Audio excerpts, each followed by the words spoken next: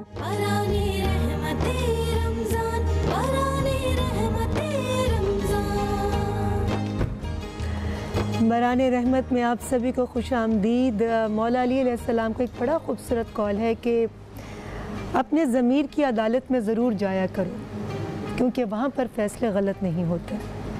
और मुझे यकीन है कि यहाँ पर आप भी जो फ़ैसला कर रहे हैं वो बिल्कुल गलत नहीं होगा क्योंकि अपने ज़मीर को ज़िंदा रखकर आप चीज़ें बनाते हैं। बिल्कुल। जी। और यहाँ हमारी बिरयानी जो है वो बहुत ही खूबसूरत सी खुशबूदार पूरे किचन में हमारी खुशबू फैल चुकी है बिरयानी की। हमारा अब्बास भाई सबर आजमाते हैं ये। डेली बेसिस पर। जी और साथ में ये रफ़ान का जो कस्टर्ड है वो भी तैयार हो चुका है। अभी हम दो ड्रिंक जो है एक टैंग और एक जो है अपना जाम शीरी वो भी हम तैयार करेंगे।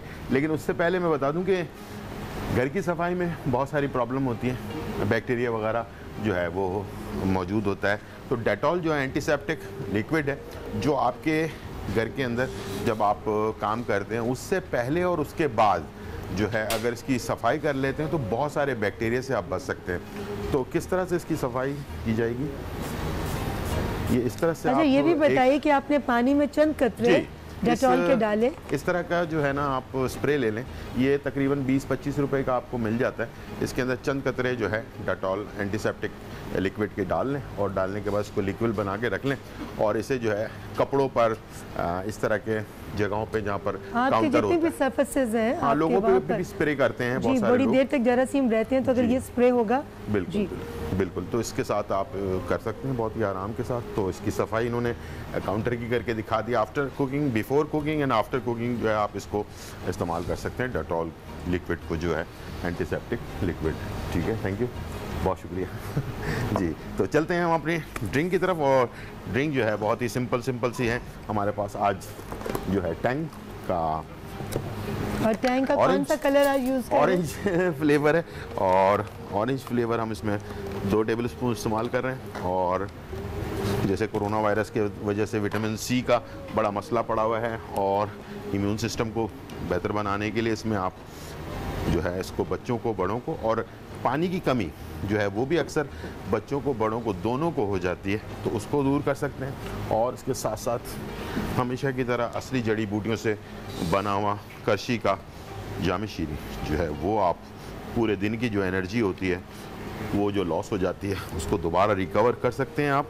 और बेहतरीन ड्रिंक जो आपको एनर्जी भी देता है, राहत भी देता है। ठीक है जी तो इसको आप तैयार करें, एंजॉय करें, बिरयानी और रफान कस्टर्ड के साथ। एंड थैंक यू डेटॉल के साथ।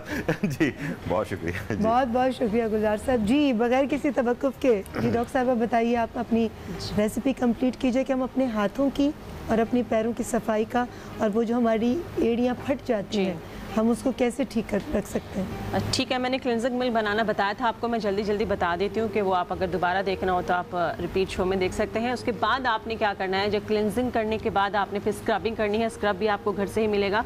बेसन और चीनी, बेसन और चीनी आपने ले लेनी है, इसको मिक्स कर लें, दो से तीन चम्मच बेसन और चीनी आपने लिया और उसमें पानी ऐड किया तो ये आपका घर में ही एक स्क्रब बन जाएगा। अच्छा ये याद रखिएगा कि ये स्क्रब फेस में नहीं कीजिएगा, क्योंकि चीनी बहुत ज़्यादा हार्ड होती है स्किन बहुत ज़्यादा फेस की जो स्किन होती है, वो सॉफ्ट होती है, बनस्बत हाथ और पैर के। अच्छी तरह आपने मिक्स किया मिक्स करने के बाद ये आपका घर में ही एक स्क्रब बनेगा। स्क्रब बनाने के बाद आपने हाथों, पैरों पे इसको लगा के एक से एक से दो मिनट के लिए छोड़ दें। उसके बाद जहाँ जहाँ आपको लग रहा है स्किन ज़्यादा डेड हो रही है, ख़राब हो रही है ब्लैक हो रही है, अच्छी तरह उसका मसाज करेंगे। मसाज करने के बाद क्योंकि जब हम स्क्रब करते हैं, उसके बाद थोड़ी सी स्किन हमारी हार्ड हार्ड हो जाती है, थोड़ी सख्त हो जाती है, थोड़ी ड्राई हो जाती है। उसके बाद फिर हम मास्क का इस्तेमाल करते हैं। मास्क आपने किस तरह बनाना है?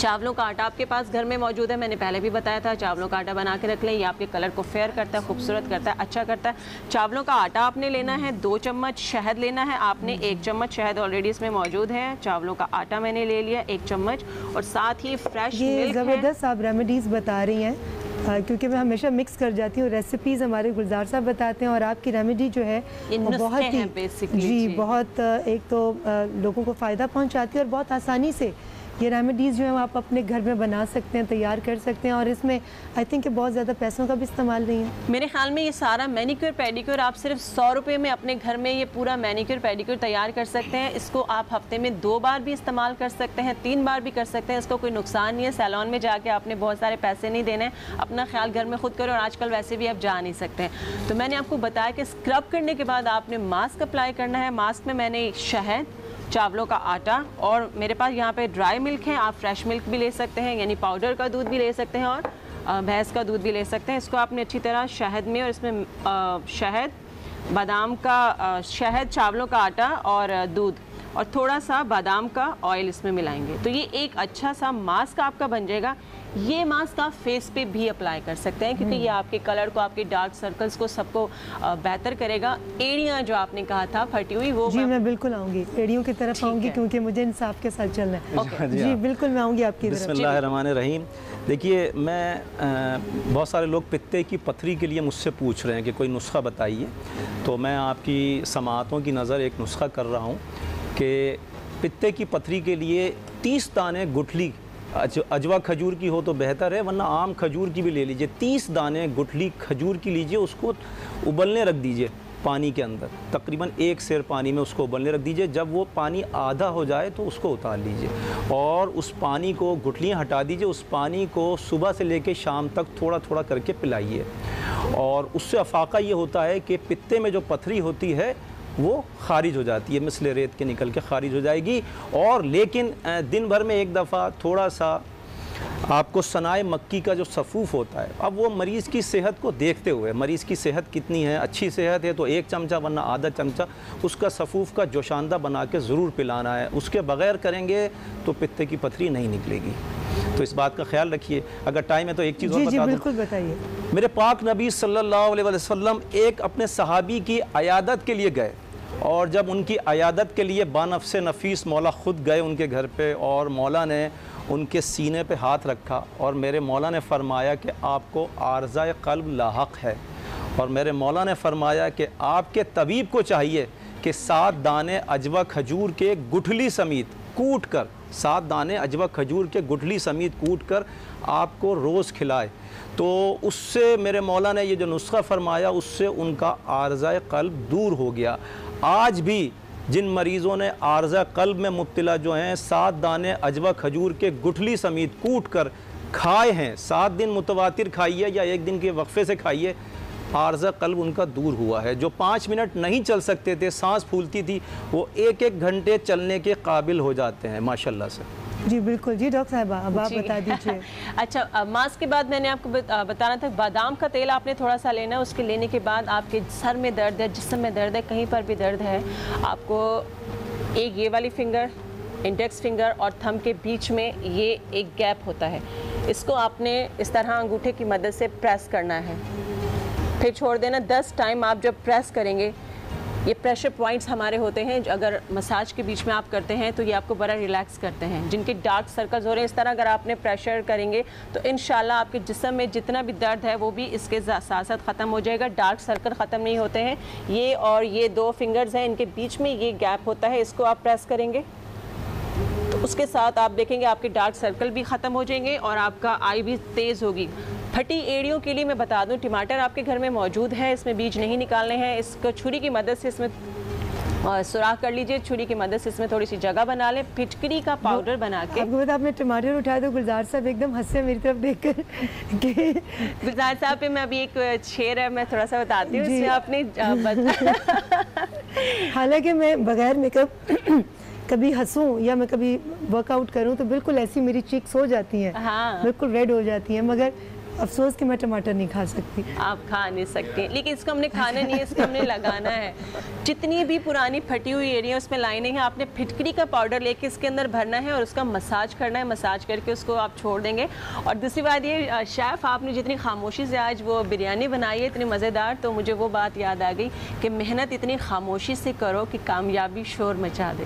तो क्या बात है। लेकिन आपने टमाटर का शुक्रिया अदा नहीं किया कि मैंने आपको टमाटर। आपका शुक्रिया। तरह रीमा जी के गाल पिंक होते हैं रेड होते हैं टमाटर की तरह उस तरह अगर आप सब करना चाहते हैं तो आप जल्दी से एक टिप बता दें फिर।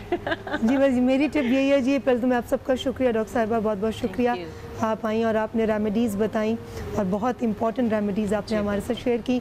आगाबाद साहब आपका तो तहे दिल से बहुत बहुत शुक्रिया। आप तो बहुत ज़्यादा। दुआएँ समेट रहे हैं पूरी दुनिया से। और गुलजार साहब बहुत आप तो हमारे बादशाह हैं। बहुत बहुत शुक्रिया। और आप खुले दिल का मुजाहरा करते हैं कि आप अपने टमाटर जो हैं डॉक्टर साहिबा को चीज़ें दे देते हैं वो अपनी रेमेडीज़ में उन चीज़ों को इस्तेमाल करती हैं। जी बहुत बहुत शुक्रिया। मेरी तीनों मेहमान शख्सियात का। मौला अली सलाम के इस कॉल से हम ब्रेक पर जाएँगे और ब्रेक से वापस आएँगे तो हमारी ट्रांसमिशन जारी रहेगी। उलमा कराम भी होंगे फरहान अली वारिस मेरे साथ शामिल हो जाएँगे। बहुत खूबसूरत मौला का कॉल के कम तरीन वो शख्स है जो दूसरों को अपने से कमतर समझता है। इसलिए कभी भी किसी को अपने से कमतर मत समझिए। इस छोटे से ब्रेक के बाद आपसे दोबारा मुलाकात होती है। कहीं मत जाइएगा।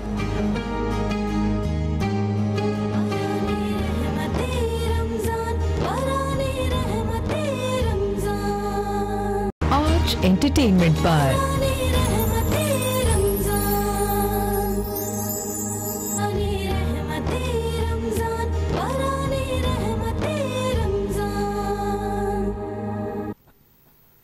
रुबाई अहल बैतार की बारगाह में पेश कर रहा हूँ। अपने दादा की बनाई हुई एक। मजहर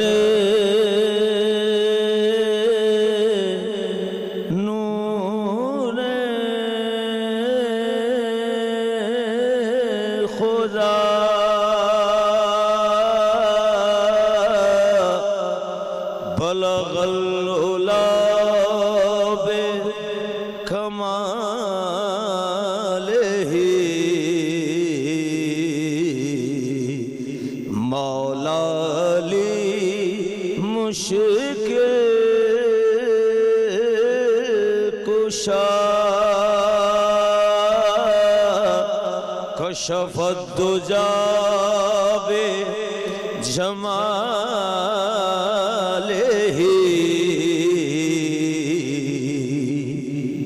हसनैन जाने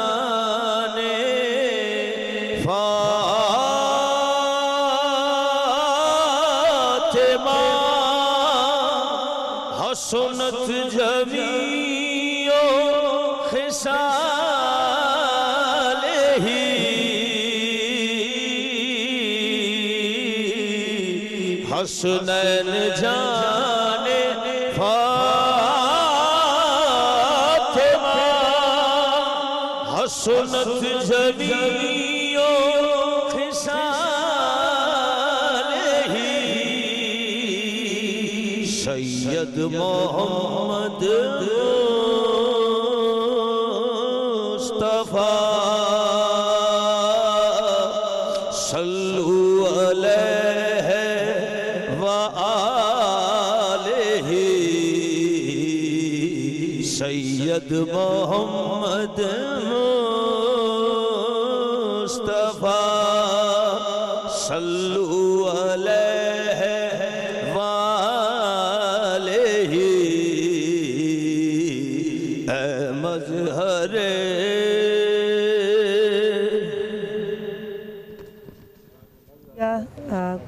पढ़ने की सादत हासिल कर रहे थे जमान ज़की ताजी साहब।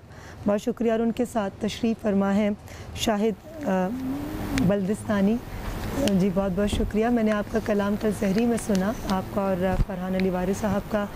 और जो आपने समा बाँध दिया था, मैं, मेरे पास अल्फाज नहीं है। बस यही कह सकती हूँ कि मैं आपसे भी दोबारा से अल्तजा करूँगी कि वो दोबारा से कलाम आज हमारी इस नशरियात में भी आप ज़रूर पढ़िएगा। और मैं तमाम देखने वालों को बताऊँ कि हमें ज्वाइन कर लिया फरहान अली वारिस साहब ने। बहुत बहुत शुक्रिया फरहान। और अभी मैं तारीफ़ कर रही थी कि आपने कल रात की आपकी सहरी ट्रांसमिशन। माशाल्लाह माशाल्लाह माशाल्लाह। बहुत ही खूबसूरत अंदाज़े शाहिद बयां। भाई ने समा बाँध दिया था हम तो। बेशक। सुभान अल्लाह क्या बात बिल्कुल ऐसा। क्या बात बिल्कुल ऐसा है। और मैं सबसे पहले आप तमाम आलम इस्लाम को आज मौला अली की शहादत के मौके पर आप सबके साथ मिलकर प्यारे रसूल खुदा सल्लल्लाहु अलैहि वसल्लम और अहले और साथ साथ ही इमाम ज़मान अलैहिस्सलाम की बार में पुरसा पेश करता हूँ तमाम आलम इस्लाम को भी दिया तमाम इस्लाम को हरिया पुरसा पेश करता हूँ। आज किस रमज़ान है। जी। जी मैं चाहूँगी कि बगैर किसी तवक़ुफ़ के शाहिद साहब हमारे साथ हैं। जी। तो कलाम का हदिया जो भी आप पेश करना चाहें। अज़बिल्लाशैतानरजीम बसमीम ताजी भाई माशाल्लाह मौला आपकी माशा- नौकरी अपनी बारगाह में कबूल करें बहुत बहुत शुक्रिया आ, आपने मौका दिया एक कलाम उस्ताद सिफ्त जाफ़र शहीद साहब का मैं पेश करता हूँ आज मौला का, का दिन है उस हवाले से जो खुदा को पुकारा सुबहान अल्लाह सुबहान अली आ गए। वाह वाह वाह। जब अली आ गए ज़िंदगी आ गई। ये कमाल खुदा का तकाजा है कि उसका नूर ऐसा है कि बशर उसका इदराक नहीं कर सकता और ये बशरियत की मजबूरी है कि वो खुदा के नूर तक अपना अपनी पहुँच उसकी नहीं है। तो बस इसी राब्ते को बरकरार रखने के लिए अल्लाह ने मोहम्मद वाले मोहम्मद रम्बिया को भेजा। तो जब खुदा को पुकारा तो अली। आ गए जब खुदा को पुकारा अली आ गए। जब अली आ गए ज़िंदगी आ गई। तो क्या हुआ? कि ज़िंदगी अल्लाह, रोशनी आ गई। रोशनी आ गई आ गई। सुबहान अल्लाह सुबहान अल्लाह। रोशनी आ गई आ गई आ गई और आ गई जब आ गई। तो मौत इनके मुहीबों को आती नहीं। क्या बात आ भी जाए तो फिर बच के जाती नहीं। मौत का क्या खतर? मौत से क्या हजर? इससे बचना भी क्या आ गई वाह, वाह, वाह, वाह, वाह, और देखिए क्या सादत है हम सब जो यहाँ बैठे हैं इंक्लूडिंग जो हमारा पूरा फ्लोर पे स्टाफ है। माशाल्लाह। उन सब की ये सादत है हम समेत कि हम क्या कर रहे हैं मैं पेश कर रहा हूँ शेर में। कि जिब्राइल और कंबर पर क्या मुनहसर। वाह वाह वाह वाह वाह वाह। जिब्राइल और कंबर पर क्या मुनहसर। दर तेरा छोड़ कर कोई वाह, नहीं। क्या कर रहे हैं हम? कि जो गुलामी का तेरी मज़ा पा गया। अरे रास जिसको तेरी नौकरी वाह और गुस्ले मैयत गुस्ले मैयत न कहना मेरे गुस्ल को। उजले मलबूस को मतफन नाम दो। क्यों? क्यों कि मैं चला हूँ मैं चला हूँ मैं चला हूँ मैं चला हूँ मैं चला हूँ अली से मुलाकात को। अरे जिसकी थी यार आरज़ू, वो घड़ी आ गई। जिसकी थी यार आरज़ू, वो घड़ी आ गई। जिसकी थी आरज़ू, वो घड़ी आ गई।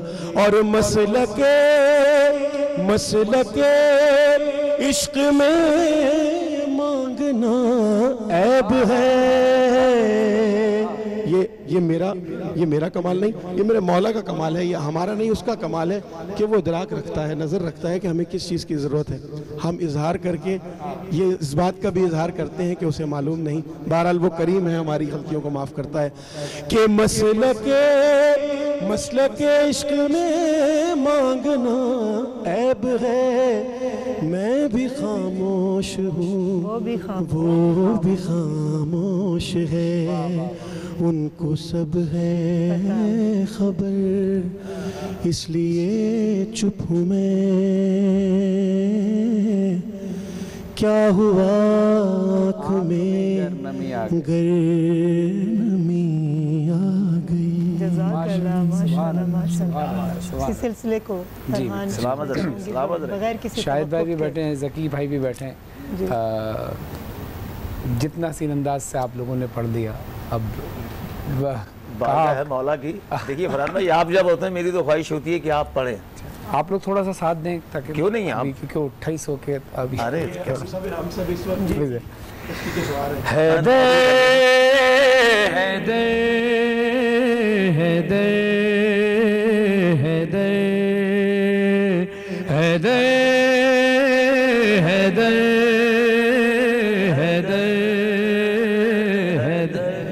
इश्क पागल नहीं करता है, वली करता है।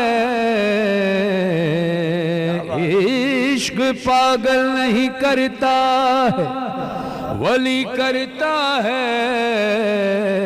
इश्क हैदर से जो करता है, सही करता है। कहता है, ये दावर महशर जिंदाबाद। सबसे बड़ा है इश्क हैदर जिंदाबाद। इश्क हैदर हैदर हैदर इश्क हैदर हैदर हैदर इश्क हैदर इश्क हैदर इश्क हैदर जिंदाबाद इश्क हैदर इश्क हैदर इश्क हैदर जिंदाबाद इश्क हैदर जिंदाबाद इश्क हैदर जिंदाबाद जिंदाबाद जिंदाबाद इश्क हैदर जिंदाबाद सिवाय मौला अली सलाम किसी को ये फजीलत हासिल नहीं कि काबे में आमद हो और मस्जिद में शहादत हो। टूटना दीवार का वो उम्मे हैदर के लिए। इश्क काबे ने किया हैदर से इतना टूट के। टूट जाना इश्क हैदर दर बनाना इश्क हैदर मुस्कुराना इश्क है काबे की मुस्कान से है ये दीवारों दर जिंदाबाद। इश्क हैदर जिंदाबाद इश्क हैदर जिंदाबाद जिंदाबाद। जिंदाबाद जिंदाबाद, इश्क हैदर जिंदाबाद। दरे हैदर की फकीरी में जो शायद भाई जमान भाई वैसे अब सुनिएगा।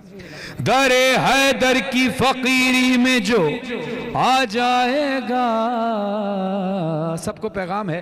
दरे हैदर की फकीरी में जो आ जाएगा इस फकीरी में भी शाही का मज़ा पाएगा। इश्क हैदर की ये गहराई है ऐसी प्यारे जितना डूबेगा तू उतना ही उभर जाएगा। इश्क में डूबी हुई परवाज दे मौला। खत्म ना परवाज हो वो राज दे मौला। फिर नजफ से तू हमें आवाज़ दे मौला। हाजिरी का तू हमें एजाज दे मौला। राह दिखा दे इश्के हैदर, रब से मिला दे इश्के दुनिया भुला दे इश्के है। इश्क में तेरे जो मर जाए वो है मर कर जिंदाबाद। इश्के हैदर जिंदाबाद, इश्के हैदर जिंदाबाद। हाँ इश्क में इश्क में तेरे जो डूबे तू से परवाज दे। प्यार से फिर नाम भी मौला उसे शाहबाज दे। मस्त बना दे, इश्क हैदर रूह मिला दे, इश्क है। दुनिया भुला दे, इश्क है। बोलो बोलो, लाल सखी शाहबाज, कलंदर जिंदाबाद। इश्क हैदर जिंदाबाद, इश्क हैदर जिंदाबाद। तो जरा शेर पे। है गदीर खुम में मजमा, खास कोई बात है। हाथ है दर का उठाए, मुस्तफ़ा का हाथ है। बोल रहा है इश्क हैदर, सबको दिखा है इश्क कितना बड़ा है इश्क है करता है ऐलान विलायत। मेरा पयंबर जिंदाबाद, इश्क हैदर जिंदाबाद, इश्क हैदर जिंदाबाद। बाप से घुट्टी में हैदर की विला मुझ मुझको मिली। दूध माँ ने जब पिलाया, तब पढ़ी ना दे अली। यूँ सिखाया, इश्क हैदर खून में समाया, इश्क है। ना भुलाया, इश्क है इश्क अली सिखलाने वाली मेरी मादर जिंदाबाद। इश्क हैदर जिंदाबाद, इश्क हैदर जिंदाबाद जिंदाबाद जिंदाबाद। इश्क हैदर जिंदाबाद, इश्क हैदर में फना फरहानो मजहर आबदी। इश्क हैदर ने बदल दी है दोनों की ज़िंदगी। मेरी जन्नत इश्क हैदर नाम शोहरत इश्क है माँ बदौलत इश्क है सारे मलंगो नारा लगाओ इश्क है दर जिंदाबाद इश्क हैदर जिंदाबाद।